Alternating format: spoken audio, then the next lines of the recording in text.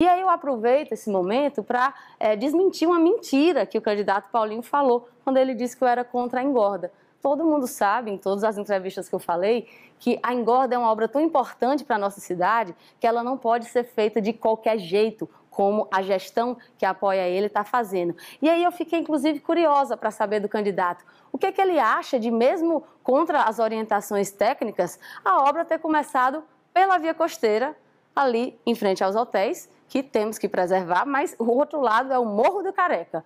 Eu queria saber o que é que o candidato Paulinho Freire acha de a prefeitura não ter priorizado a proteção do Morro do Careca, começando a engorda pelo outro lado, como era a recomendação técnica. O tempo da senhora acabou, um minuto e 15 segundos para a réplica, candidato Paulinho Freire. Olha, deve ser alguma questão técnica. Inclusive, esse projeto da engorda, que indicava a, jazi, a jazida que não deu certo, foi contratada pelo ex-prefeito Carlos Eduardo. É bom que se saiba disso. A população precisa saber disso. Agora ele quer dizer que não foi, mas antes eles não, deixei o projeto pronto e deixou o projeto pronto.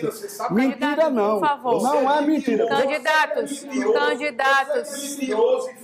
Candidatos, vamos para o intervalo. Candidatos, candidatos, eu peço respeito, eu peço respeito dos senhores. Você que não fez, você nunca, aponta o que você fez. A gente vai para o intervalo e volta em alguns minutos. A gente volta em alguns minutos, vamos para o intervalo agora.